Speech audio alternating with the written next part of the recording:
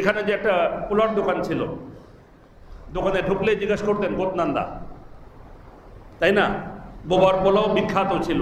এখন মিরপুরের একটা বোবা হয়েছে, কিন্তু এটা আমাদের দেখায় বংশালে আতিকের তেহারি আর এখানে পোলাও, ডিম পোলাও তিন টাকা, মুরগি পোলাও ষাট টাকা। আমরা এখানে খেতাম। এখন কিন্তু মাশাল্লাহ আমাদের নাজির বাজার এটা সমৃদ্ধ হয়ে গেছে, আলহামদুলিল্লাহ। কি না খাই? রাতের একটা বাজে গেলেও মনে হয় যেন মাত্র সন্ধ্যা হইল। দুটা, তিনটা, চারটা পার্টি চলতেছে। প্রত্যেক রাত্রে পার্টি চলতেছে। আজকে এই দোকান তো কালকেও এই দোকান। সারা বছর এত বাসি তেল খাচ্ছি, এত পচা তেল খাচ্ছি, মশলা এত খাচ্ছি, আমাদের গ্যাস্ট্রিকের ব্যথা ওঠে না। যেই সাবান এসে যায় আর নিষ্ঠু সাবান চলে যায়, আমাদের ব্যথা ওঠা শুরু হয়। রামাজান আসলেই আমার তো গ্যাস্ট্রিকের ব্যথা, আমি রোজা রাখা পারব না।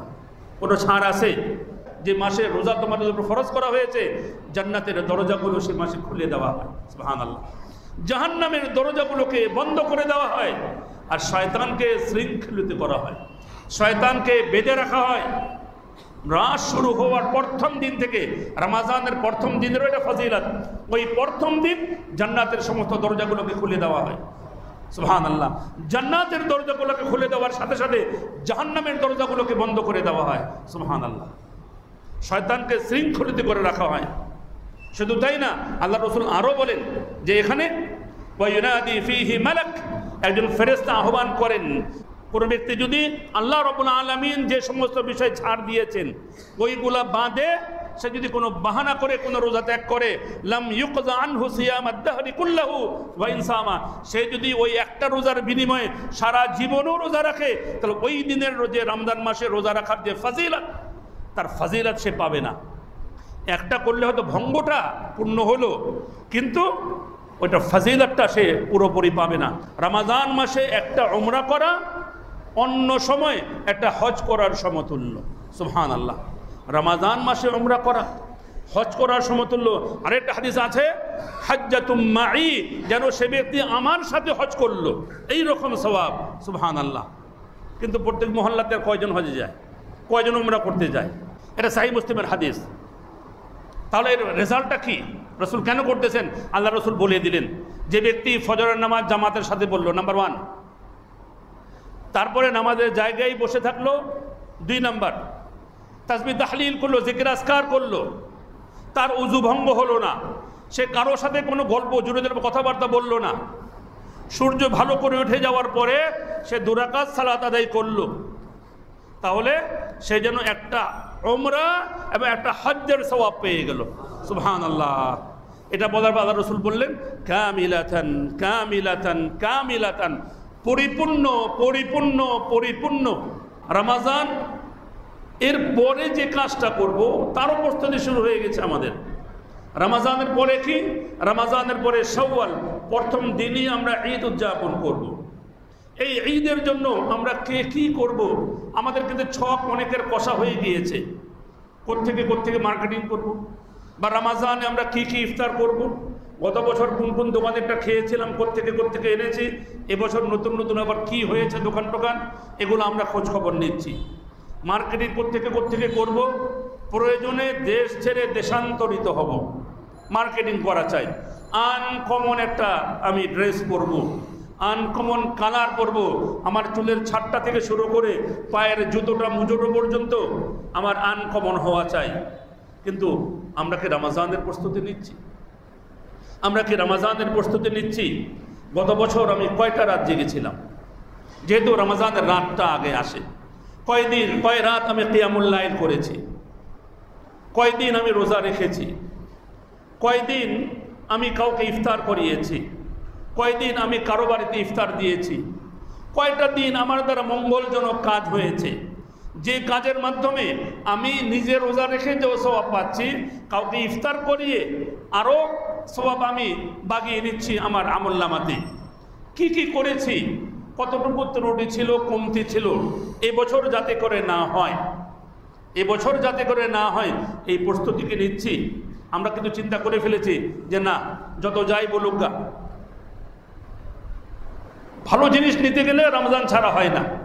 যদি রমাজানের রোজা ভেঙ্গেও যদি হয়, বা কিয়ামুল্লাইল ত্যাগ করেও যদি হয় ইফতার করে মসজিদে যদি না পাওয়া যায়, আরে ভাই, বড় সারাদিন রোজা রেখেছে, কাজকাম ছিল, ক্লান্ত হয়ে শুয়ে পড়েছিলাম।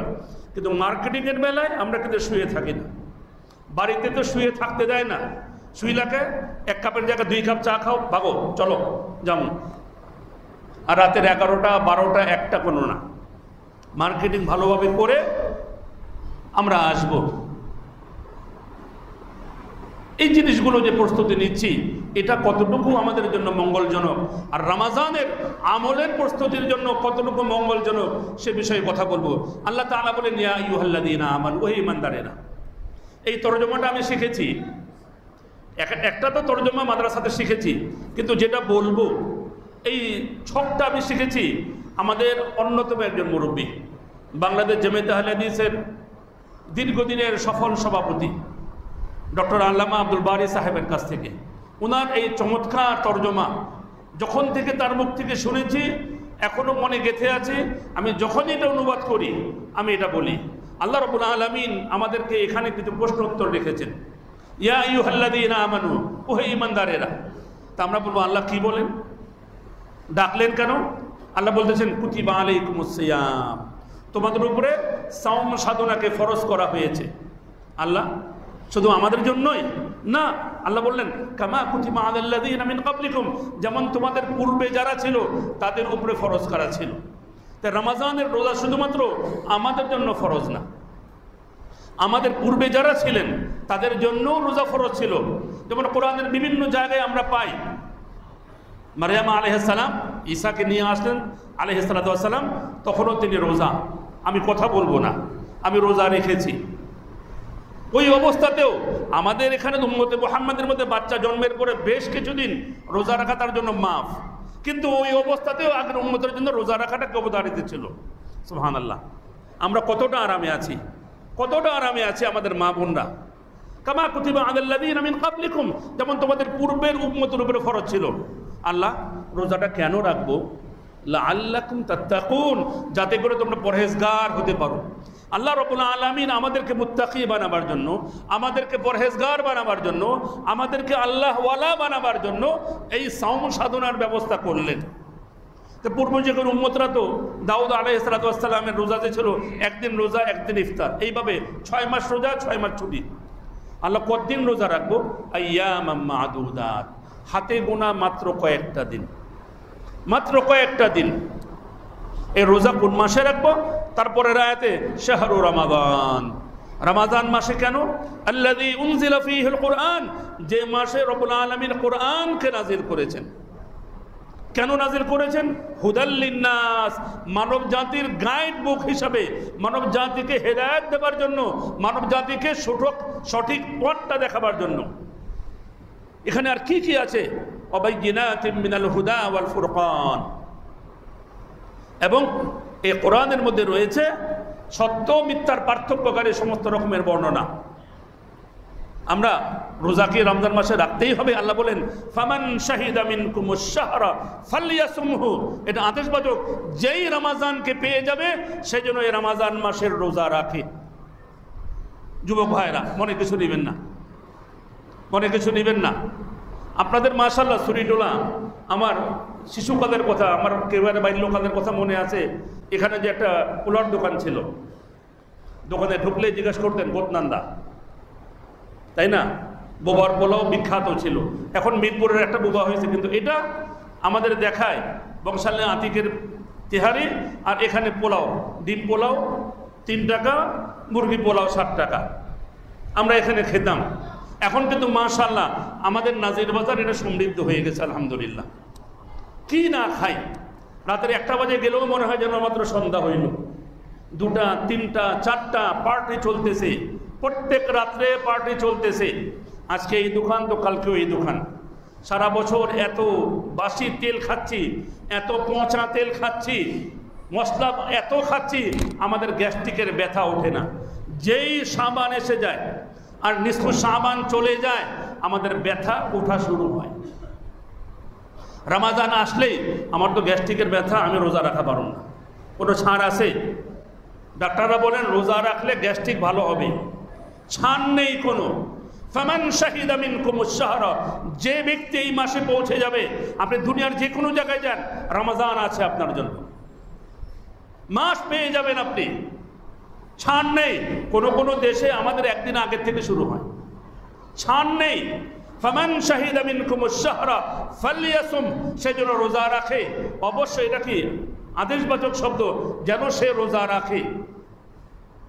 কারণ এটা তো ইসলামের ভিত্তি। যে হাদিস পড়লাম বুনিয়ান ইসলাম আলা খামসিন, ইসলামের ভিত্তি পাঁচটা।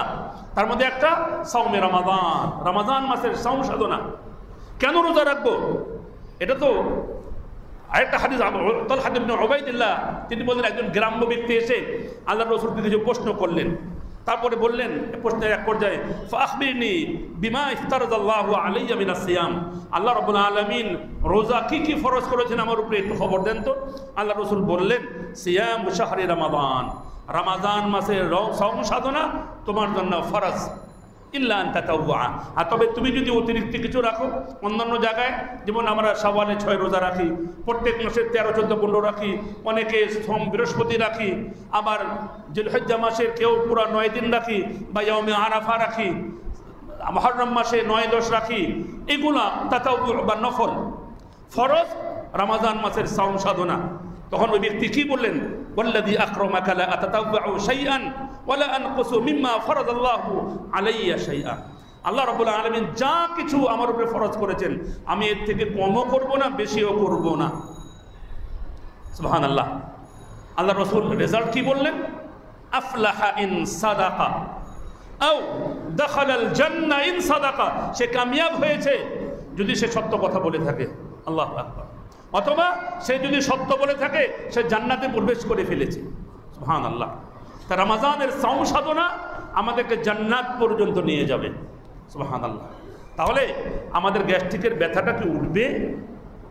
এটা কিন্তু আমাদের জান্নাতে যাওয়ার একটা মাধ্যম, শুধু তাই না, রামাজান মাস সম সাধনা করলে জাইয়ান জান্নাতে রোজাদারদের জন্য আলাদা একটা দরজা থাকবে। ওই দরজা থেকে রোজাদারদের আহ্বান করা হবে। শুধু তাই না রামাজান মাসের আরও ফরজ রয়েছে। আবহরের হাদিস, আহমদ নাসাই বাইহাকি বর্ণনা করেন সাই হাদিস। আল্লাহ রসুল সাল্লাম বলেন, যখন মুবারক মাস, রমাদান মাস এসে যায়, যে মাসে রোজা তোমাদের উপর ফরজ করা হয়েছে, জান্নাতের দরজাগুলো সে মাসে খুলে দেওয়া হয়। সুবহান আল্লাহ জাহান্নামের দরজাগুলোকে বন্ধ করে দেওয়া হয়, আর শয়তানকে শৃঙ্খলিত করা হয়। শয়তানকে বেঁধে রাখা হয় রাস শুরু হওয়ার প্রথম দিন থেকে, রামাজানের প্রথম দিনেরও এটা ফজিলত। ওই প্রথম দিন জান্নাতের সমস্ত দরজাগুলোকে খুলে দেওয়া হয়। সুহান আল্লাহ জান্নাতের দরজাগুলোকে খুলে দেওয়ার সাথে সাথে জাহান্নামের দরজাগুলোকে বন্ধ করে দেওয়া হয়। সুহান আল্লাহ শয়তানকে শৃঙ্খলিত করে রাখা হয়। শুধু তাই না, আল্লাহ রসুল আরও বলেন যে এখানে একজন ফেরেস্তা আহ্বান করেন, ইয়া বাগিয়াল খাইরি আকবিল ইয়া বাগিয়াল খাইরি আবশির ওয়া ইয়া বাগিয়াশ শাররি আকসির হাত্তা ইয়ানকাজি রমাজানের শেষ দিন পর্যন্ত একজন ফেরেস্তা আমাদেরকে ডাকতে থাকে, ওহে কল্যাণের যাত্রীরা, তোমরা আগে বাড়ো, তোমরা এগিয়ে আসো, যারা অকল্যাণ কামি আছো, তোমরা বিরত থাকো, ক্ষান্ত হও এই এই মাসে আর তোমরা খারাপ কাজ করো না। আল্লাহ রবুল আলমিনের পক্ষ থেকে আমাদেরকে ডাকা হয়, আমাদেরকে জানানো হয় যে কে কি চাইবা কল্যাণের দিকে? তোমরা আসো আসো আসো। তাই তো আমরা চেষ্টা করি। তাই তো চেষ্টা করি, আমরা আমাদের মুরব্বীদেরকে দেখেছি। সাহারের সময় উঠেছেন একটু আগেই, দু চার টাকা পড়েছেন। বাড়িতে যখন তরকারি, এমন একটা একটা সময় ওই ভোরবেলায় পাক শাক হতো। বা গরম করা হচ্ছে, কোরআন তেলোয়াত করতেছেন। আর আমাদেরকে ডাকতেছেন, আমরা উঠে যদি সবাই পেতাম, এক দুই লাইন পড়তাম। বা যার যেটা দোয়া আছে, পড়তে থাকো, খানা লাগুক। এখন তো মাশা আল্লাহ মাশা আল্লাহ আমরা এখন তো আমাদের সকাল হয়, রাত দিনের এগারোটায়, দুপুর হয় বিকাল পাঁচটায়, আর সন্ধ্যা হয় রাতের আটটা, নয়টায়, আর রাত হয় রাতের একটার পরে দিয়ে এই যে একটা বদভ্যাস আমাদের ঢাকাইয়া সমাজে, আমি নিজেও ঢাকাইয়া। আমাদের সমাজের মধ্যে গড়ে উঠেছে, যার কারণে আমরা একটা পুরাতন ধ্যান ধারণা আছে, আজান দিলে কুলিকরণ লাগে। আজান দিলে কুলিকরণ লাগে, পানি খাওয়ান লাগে। দেড়টা বাজে খায়ালে ঘুমাইছি। নিয়ত করছি, যদি ঘুম না ভাঙে, রোজা। নিয়ত করে ফেলেছি কিন্তু রোজার রোজার মাসে সাহারি খাওয়ার সাথে সাথে নিয়ত করতে হয় যে আমি আগামী দিন, যে এই দিনটা রোজা রাখার জন্য, আগামী দিন আল্লাহ মাফ করুক, আমি দিনে রোজা রাখার জন্য রাতের বেলা সাহারি করলাম। সাহারি খেয়ে ঘুমিয়ে পড়লাম। বা বসে গল্প করতেছি বা কোরআন তেলাওয়াত করতেছি মোয়াদ্দেন সাহেব যেই আজানটা দিলেন, আর মোয়াদ্দেন সাহেব আজান কখন দেন? যখন সাহারির শেষ সময়টা পার হয়ে যায়। সবে কাঁদে পার, ফজরের সময় শুরু হলো মদ্দের সব আজান দেয়। তখন আমাদের বোধহয় পানি পানি পানি পানি পানি পানি, আমরা এক ডোক দুই ডোক তিন ডোক খাচ্ছি। আচ্ছা চিন্তা করে দেখেন তো। দরজা বন্ধ হয়ে যাওয়ার পরে টিকিটের, আমি যদি গেটের মধ্যে গুতাই, ভাই, আমার টিকিট টিকিট কেউ দিবে? আমার তো খাওয়ার সময়টা পার হয়ে যাওয়ার পরে মধ্যে সব ঘোষণা দিলেন, আর খাওয়া নেই। হ্যাঁ আমি খাচ্ছি, প্লেটে আছে, সেটা আমি সাবার করব কি করব না আল্লাহ রসুল বলতেছেন, তোমার প্লেটেটা তুমি শেষ করো। কিন্তু দশ মিনিট, পনেরো মিনিট, আধা ঘণ্টা, এক ঘণ্টা, দুই ঘণ্টা আগে খাওয়া শেষ করলাম, আর আজানের পরে পানি খাচ্ছি।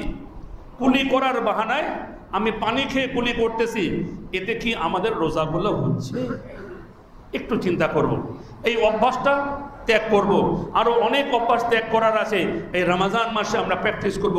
রবুল আলমিন আমাদেরকে তৌফিক দান করেন। কারণ এটা আমাদের স্বার্থে। আবারও আবহরের হাদিস, তিনি বলেন আসালাতুল হামস পাঁচক্ত সালাত। ওয়াল জুমা তু ইলাল জুমা এই আজকে জুমা পড়লাম। শেষ করার পর থেকে যদি কোনো ছোটোখাটো গুণা করি, আসর মাগরি বেশার মাধ্যমে মাফ হতে হতে কিছু রয়ে গেছে, সামনের জুমা আদায়ের মাধ্যমে ওই গুণাগুলো রবুল আলমিন মিটিয়ে দিবেন। সোহান আল্লাহ ও রমাদান ইলা রমাদান। গত রমাজান আমি পুরাপুরি সাম সাধনা করেছি, মানুষ হিসাবে গুণা করেছি, ভুল ত্রুটি করেছি, অনেকগুলা মিটাতে পেরেছি, কিছু হয়তো রয়ে গিয়েছে। এই রামাজান আসন্ন রামাজান যখন আমরা ভালোভাবে উদযাপন করব, কামা হাক্কাও যেভাবে আল্লাহ রসুল বলেছেন, আল্লাহ রবুল্লা আলমীদের বিধান এইভাবে করব, তাহলে এই আগের যে গুণাগুলো রয়ে গিয়েছিল রব্বুল্লা আলমিন এইগুলোকেও মিটিয়ে দিবেন। আল্লাহ আমাদের গুণা মাফের কত? কাপড়ও যদি বাড়িতে ধুইতে দেই, আম্মা তো একটা ঝাড়ি দিছে হ্যাঁ এত খরচকে গিন্নিরে দিলে তো পুরা ঝাড়ি, তোমারটা তুমি ধুয়া বিন্দোগা বারবার ধুয়া পারুন না। আল্লাহ রবুল্লা আলমিন কিন্তু আমাদেরকে বারবার ধন। বারবার ধন। এই যে ফজর থেকে জুমা পর্যন্ত, জোহর পর্যন্ত বা জুমা পর্যন্ত যে গুণাগুলো করেছে, জুমা আদায়ের মাধ্যমে গুণাটা মাফ হয়ে যাবে। আবার জুমার পর কিছু করে ফেলে, যদি করে ফেলে, আসর আদায় করার মাধ্যমে সেগুলো মাফ হয়ে যাবে। রবুল্লা আলমিন বারবার ধন আমাদেরকে। আমাদের গুণাগুলোকে বারবার ধন কিন্তু আমাদের বাড়িয়ালি বা আমাদের বাড়ির যিনি কর্তা বা কর্তী, তারা কিন্তু কাজের বুয়া হলো এত বারবার খেলা দোল লাগে যদিও পয়সা দিয়ে রেখেছি, তারপরে একটা বলবে, এত ময়লা হয় কাপড়, এক জায়গায় দাগ লাগে। কিন্তু আমাদের দ্বারা তো অনেক সময় দাগ লেগেছে আমরা তো ইনসান। নিসিয়ান করা, ভুল করা আমাদের স্বভাব। আর ভুল করেই আল্লাহকে ডাকা, এটা উত্তম স্বভাব। আল্লাহ ভুল হয়ে গেছে, মাফ করে দেন। আল্লাহ মাফ করে দিবেন। তাহলে কি? আল্লাহ রবুল্লাহ মাফ করে দিবেন? শর্ত, ইদা যে তুনিবাতিল কাবায়ের যদি ওই ব্যক্তি কাবিরা গুণা থেকে বিরত থাকে। কাবিরা গুণা থেকে বিরত থাকে, এ বিষয়ে আপনারা শুনেছেন অনেক আলোচনা। আল্লাহ রসুল বলছেন মানসামা রামাদানা যে ব্যক্তি রামাদান মাসের রোজা রাখল, আবু সাইদ খুদ্র হাদিস ও আর রাফা হদুদাহু তার রামাজান মাসে কি কি করণীয়? কি কি বর্জনীয় এগুলাকে সে ভালোভাবে চিনল। বা তাহাফাজ তাহাফাজ মিন। আর তার কি কি হেফাজত করা দরকার? কারোর সাথে ঝগড়া করব না, বিবাদ করব না, কেউ ঝগড়া করলে বলব, ভাই, রোজার মাসে সওয়াল মাসে এসেন উত্তর কীরকম দিয়া পারি দেখামনি এখন আল্লাহকে সন্তুষ্ট করার জন্য আমি রোজা রাখছি, কোনো উত্তর দিব না। তাই বলে আবার মনে মনে পয়সা রেখা আবার সাবানে সাবান মাসে ঝগড়া করব এমন যেন না হয়, আল্লাহ যেন মিঠাইয়া দেয়। তাই না? আমি উত্তর দিতে পারি আপনাকে, কিন্তু আল্লাহকে সন্তুষ্ট করার জন্য আমি রাখছি, আমি করব না। তাহলে কি হবে? কুফিরামা কাবলাহু, তার পূর্বের সমস্ত গুণাখাত রবুল আলমিন মাফ করে দিবে সুহান আল্লাহ গুনা মাফের কত মাধ্যম? আল্লাহ রসুল তো বলেছেন মানসামা রমাদান ইমানান ওয়া ইহতিসাবা, গুফির লাহু মা তাকাদ্দামা মিন যামবি।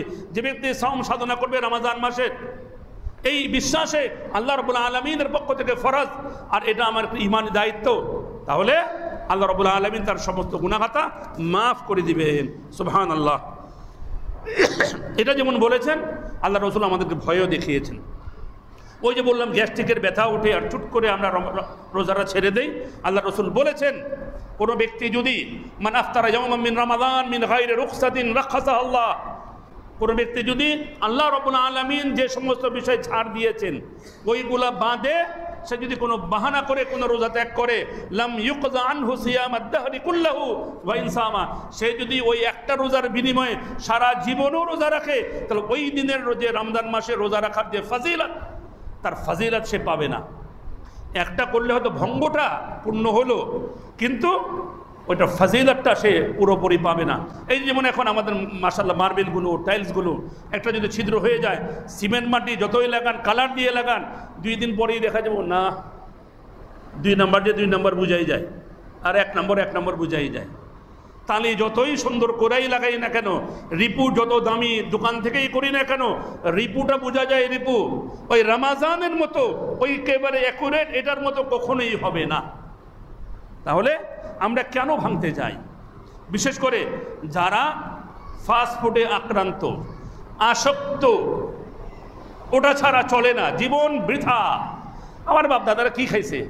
আরে এইগুলো এলো খাওন। বাপ দাদা যে কী খাইছে? আশি বছর বয়সও এখন আমার চেয়ে তাজা আছে। আমার বাপ দাদারা যে কী খাইছে? আমি বলি মাঝে মধ্যে, সব বরকত তো খাওয়া ফেলেছে। আমরা এখন টেস্টিং সল্ট মিলায় খাইতেছি। নাইলে মুখের মধ্যে স্বাদ লাগে না। টেস্টিং সল্ট মিলায় স্বাদ লাগায়। তারা তো ঘি খাইছে। তারা মধু খেয়েছেন, তারা দুধ খেয়েছেন ভুসির খাওয়া। এখন আমরা আর্টিফিশিয়াল খাওয়ায়া আর্টিফিশিয়াল দুধ খাই। ফার্মের ডিম খাই ফার্মের মুরগি খাই, মোটা মোটা। দেশি মুরগির যে স্বাদ মাশা আল্লাহ তাই না? অনেকে আবার নাকে নিয়ে বোঝায় না এটা দেশির এটা কক। এটাও ধরে ফেলেন। কক কোনটার, দেশি কোনটা? ফার্ম তো চেহারা দেখলেই বোঝা যায়। এখন তো আমাদের মধ্যে ফার্মের মুরগি বেশি, ফার্মটাকেই পছন্দ করি। কিন্তু সাবধান হতে হবে। মুসলিম হিসাবে রমাজান মাসের প্রত্যেকটি হককে আমাদেরকে আদায় করতে হবে। রবুল আলমিন আমাদেরকে তৌফিক দান করেন। শুধু তাই না, রমাজান মাসের ফজিলত যদি বলতে শুরু করি, এই খুদ্া অনেক ছোট হয়ে যাবে সময়টা। রামাদান মাসে ওই আগেই বললাম, রব্বুল আলমিন জান্নাতের দরজা খুলে দেন, জাহান্নামের দরজাগুলোকে বন্ধ করে দেন। শুধু তাই না, এখানে শয়তানকে বন্ধ করে দেওয়া হয়। শয়তানকে শয়তানি তো চলতেই থাকে। ইমাম নবী রহিমাহুল্লাহ বলেন, মূল শয়তানগুলোকে বন্ধ করে দেওয়া হয়। কিন্তু মনের মধ্যে যে সারা বছর এগারোটা মাস শয়তানি করতে করতে প্রভাব অভ্যাস হয়ে গেছে। এটা চট করে ছুটে না। কারণ শয়তান তো দুই প্রকারের, মিনাল জিন্নাতি ওয়ান্নাস এটা জিনের মধ্যে, যেটা ইবলিস আর তার দলবল, আর এটা মানুষের মধ্যে। এই যে প্রভাবটা রয়ে গেছে, সারা বছর প্রত্যেক দিন কিছু না কিছু আমার দ্বারা আমি ত্রুটি করেছি, ইচ্ছা করে, অবহেলায় এগুলা রয়ে গেছে। রব্বুল আলমিন এগুলা থেকেও আমাদেরকে বের হয়ে আসার পরিত্রাণ পাওয়ার জন্য আমাদেরকে তৌফিক দান করেন। মাশা আল্লাহ আমরা ফেসবুক খুললেই দেখতে পাই বিভিন্ন প্যাকেজ রামাজানের প্যাকেজ হজ গ্রুপগুলো আমাদেরকে প্যাকেজ দিতেছেন। তাই না? কত রকমের। কিন্তু রামাজান মাস গুনা মাফের জন্য আরও কিছু আছে যে রামাজান মাসে যদি একটা উমরা করা হয়, নবী মোহাম্মদুর রসুল্লাহ সাল্লাহ আলহি ওয়াসাল্লাম বলেন আল উমরা তফি রমজান সওয়াবুহা মুদাআফ। অনেক গুণে সওয়াব পাওয়া যায়। ইবনা আব্বাস থেকে বর্ণনা তিনি বলেন আল্লাহ রসুল সাদ করেন, উমরাতুন ফি রমাদান তাআদিলু হাজ্জিন হাজ্জাতান। রমাদান মাসে একটা উমরা করা, অন্য সময় একটা হজ করার সমতুল্য। সুহান আল্লাহ রমাজান মাসে উমরা করা, হজ করার সমতুল্য। আরেকটা হাদিস আছে হাজ্জাতুম্মাই যেন সে ব্যক্তি আমার সাথে হজ করল। এই রকম স্বভাব সুবহান আল্লাহ কিন্তু প্রত্যেক মহল্লাতে কয়জন হজে যায়? কয়জন উমরা করতে যায়? এই আমাদের পুরান ঢাকা যদি যেটা আমাদের কথা বলে চালনি দেওয়া চাললেও এই কয়েক লাখ মানুষের মধ্যে হয়তো কয়েকশো হবে। কয়েকশো হবে ওমরা করতে গিয়েছেন। রবুল আলমিনকে আমাদের জন্য কিছু রাখেননি। আর বিশেষ করে যাদের সামর্থ্য নাই মক্কায় যাওয়ার জন্য। যাদের সামর্থ্য নাই মক্কার যাওয়ার জন্য আমরা কি হজ ওমরার স্বভাব কোনোদিনই পাবো না? কেন পাবো না? কেন পাবো না? আছে। আছে। অনেক হাদিস আছে, তার মধ্যে একটা হাদিস দেই। একটা হলো গিয়ে, আনাস বিন মালিক রাদিয়াল্লাহু আনহু বর্ণনা, সহিহ মুসলিমের হাদিস, নবী মুহাম্মদুর রসুল্লাহ সাল্লাল্লাহু আলাইহি ওয়াসাল্লাম যখন ফজরের নামাজ জামাতে পড়তেন, তিনি কখনো কখনো তিনি তার নামাজের জায়গায় বসে থাকতেন তাসবি তাহদিল জিকির আসকার করতেন, যে পর্যন্ত সূর্য উঠে না যেত, এরপরে দু রাকাত সালাত আদায় করতেন। এটা সাহি মুসলিমের হাদিস। তাহলে এর রেজাল্টটা কি? রসুল কেন করতেছেন? আল্লাহ রসুল বলে দিলেন, যে ব্যক্তি ফজরের নামাজ জামাতের সাথে বলল নাম্বার ওয়ান তারপরে নামাজের জায়গায় বসে থাকল, দুই নাম্বার। তাসবি তাহলিল করল, জিকির আসকার করল। তার উজু ভঙ্গ হলো না। সে কারোর সাথে কোনো গল্প জুড়ে কথাবার্তা বলল না। সূর্য ভালো করে উঠে যাওয়ার পরে সে দুরাকাত সালাত আদায় করল। তাহলে সে যেন একটা ওমরা এবং একটা হজ্জের সওয়াব পেয়ে গেল। সুবহান আল্লাহ এটা বলার পর রসুল বললেন, কামিলাতান কামিলাতান কামিলাতান। পরিপূর্ণ পরিপূর্ণ পরিপূর্ণ। রব্বুল আলমিন বিভিন্ন গ্রুপের সাথে যাওয়ার সুযোগ দিয়েছেন। কিন্তু আমি অবলীলায় বলতে পারি, আমাদের এখান থেকে যারা বিভিন্ন গ্রুপের সাথে হজে বা ওমরায় যান হান্ড্রেড পারসেন্ট হয় না। মাকবুল হজ্জে, তাদের সাথে, গ্রুপের সাথে হাজি সাহেবদের একটা না একটা বিষয় নিয়ে টকজোক লেগেই থাকে। আর টকজোকগুলো ঠিক এই বাদতের সময় মনে হয়। তুমি আমার সাথে ওয়াদা করছিলে, এটা দিবা দাওনি। টাকাটা তো পুরোই লইছ। বাস, তুমি এইরকম হোটেল দেওয়ার কথা ছিল, দেওনি। বাস, নিতে তো কমলাওনি ঝগড়া যেটি জুড়ে দিলাম, কোথায়? মক্কাতুল মোকাররামায়। মদিনাতুল মুআজ্জামায়। কখনো কখনো ইহরামের অবস্থায়। ঝগড়াঝাটি তুমলে তখন আমার হজটা কি মাকবুল হজ হচ্ছে? আমার হজটা কি মাকবুল হজ হচ্ছে? তাহলে এটার রেজাল্ট কি? মজে সাহেবদের তাকিয়ে আছে আমার দিকে। কি কইল এটা? কারণ মজে সাহেব জানেন হয়তো এই ব্যাপারে। আমি আপনাদেরকে বলব, আরে কিছু সুযোগ নেওয়ার জন্য, একটু ওমরা করার জন্য কত টাকা খরচ হয়? কত দৌড়াদৌড়ি আছে? তারপরে আমাদের ঢাকা শহরের রাস্তা তো মার্শাল্লাহ জ্যাম। যাব ফ্ল্যাট হলো একটাই বাড়ির থেকে বের হইতেছে দশটা বাজে। চার ঘণ্টা, পাঁচ ঘণ্টা লেগে যায়, এয়ারপোর্টের রাস্তা পার হইতে। মগবাজারে পড়তে জাম, একেবারে এয়ারপোর্ট পর্যন্ত। এই জাম জামের মধ্যে তিন, চার ঘণ্টা রাস্তায়। তারপরে ভিসা করার জন্য দৌড়দৌড়ি করছি, টিকিটের জন্য দৌড়দৌড়ি করছি, ঝগড়া করছি, আবার ফ্লাইট, তারপরে জেদ্দার থেকে মক্কা, এরপরে গিয়ে তাওয়াফ। সাই করার পরে গিয়ে চুল, ছাঁটা বা চাচার পরে একটা ওমরা হয়। এত লং টাইম না। সাহারি খাওয়ার পরে মসজিদে আসার আগে একবার পোশাক পায়খানা করে দেন হালকা চাবাস ওটাই। এরপরে ফজরের নামাজ পড়ে জামাতের সাথে মসজিদে বসে থাকেন। কিন্তু একটা কথা খেয়াল রাখতে হবে সম্মানিত ভাইয়েরা আমার। ভাই বললাম, কারণ বললাম না রাস্তার এইবার ওইবার রামাজান মাসে কিন্তু আমাদের মসজিদগুলোর ইমাম মোয়াজদেনদের বিশেষ করে মোয়াজদেন সাহেবদের খাটাখাটনি অনেক বেড়ে যায়। অনেক দায়িত্ব বেড়ে যায়। অন্য সময় এসব পরেই তারা চলে যান। এখন কিয়ামুল্লাইল পরে আরও কয়েকজন একটু তাসবি তাহলিল করে জিজ্ঞাসা করেন, তারপরে বাড়িতে যান। লং টাইম তাদেরকে ডিউটি করতে হয়। ফজরের পরেও যদি ডিউটি করতে হয়, তাহলে এটা একটা অন্যায় হয়ে যায়। কিন্তু একটু যদি সহজ করে নিই আমরা মধ্যে সব আপনি ঘুমিয়ে থাকেন, যখন জামু, খালি টিকিটটা খুলে দিন তাহলে ফজরের নামাজ জামাতে পড়ার সাথে অনেকে বলবেন বাইক গিয়ে বললে হইব না। বিশাল হয়ে যদি বয়ে থাকে তাহলে এয়ারপোর্ট যাওয়া হবে। আমার ব্যাখ্যাগুলো এরকম হ্যাঁ। তবে যারা একেবারে অসুস্থ বা অসমর্থ, ফজরে আসতে পারেন না, যেমন আমাদের মা বোনরা, তাদের জামাতের ব্যবস্থা নেই আমাদের মসজিদগুলোতে। তারা যদি এই নিয়ম মেনে যদি বাড়িতে করেন, দেওয়ার মালিক রব্বুল আলমিন।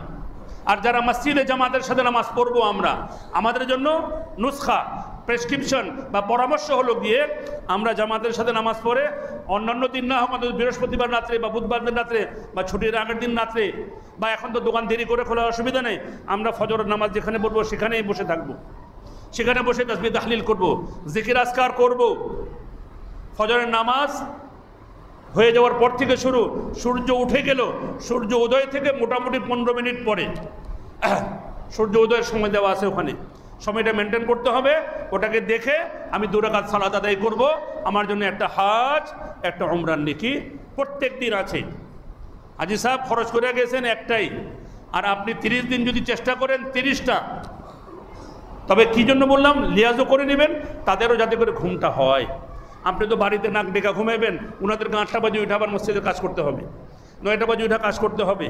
তাই তাদেরও যাতে করে একটু আরাম হয়, আপনাদেরও ইবাদত হয়, একটু ভালো করে একটু খাতিরটাতে জমায় লইবেন তাহলে ভালো হয়। আরও অসুবিধা নেই ইনশাল্লাহ দেখুন নিয়ে আছি তোমরা মহল্লার মানুষ। তাহলে কি, কোনো সমস্যা হবে না ইনশাআল্লাহ। কিন্তু এই যে আমলগুলা, এই আমলগুলো যদি আমরা সারা রামাজান করতে থাকি, তাহলে একটা অভ্যাসে তৈরি হবে আমাদেরকে। জামাতে আসার অভ্যাস। এখন জামাতে মাদ্রাসা বন্ধ থাকলে আমাদের কয়জন মুসল্লি হয়? আমার নাজির বাজারে একই। মাদ্রাসা বন্ধ, দেড় কাতার মুসল্লি। কখনো এক কাতার মুসল্লি আর কয়েকজন। এখানেও কি মাদ্রাসা বন্ধ থাকলে কয়জন মুসল্লি? কিন্তু রমাজানে দেখেন একতলা পরে, দুই তালা, তিন তালাও মুসল্লি মাশা আল্লাহ মুসল্লি মাশা আল্লাহ কেউ বাড়িতে বসে থাকে না। মাগরিবের ইফতার অর্ধেক করে দৌড়ে চলে আসে জামাতের সাথে নামাজটা পড়ি। কিয়ামুল্লাইলটা আমরা পুরা করব, কারণ আল্লাহ রসুল বলছেন, মান কামা রামাদান ইমান ইহতিসাবা যে কিয়ামে রামাজানও করল, রামাজানে এই বিশ্বাসে আল্লাহ তাকে ফলাফল দিবেন আর সবের আশায় রব্বুল আলমী তার জীবনের সমস্ত গুণাহাদা মাফ করে দেবে শুধু তাই না, আল্লাহ রসুল বলেছেন, যে ব্যক্তি ইমামের সাথে শুরু থেকে শেষ পর্যন্ত কিয়ামুল্লাইল করল সেই জন্য সারা রাত জেগে ইবাদত করল।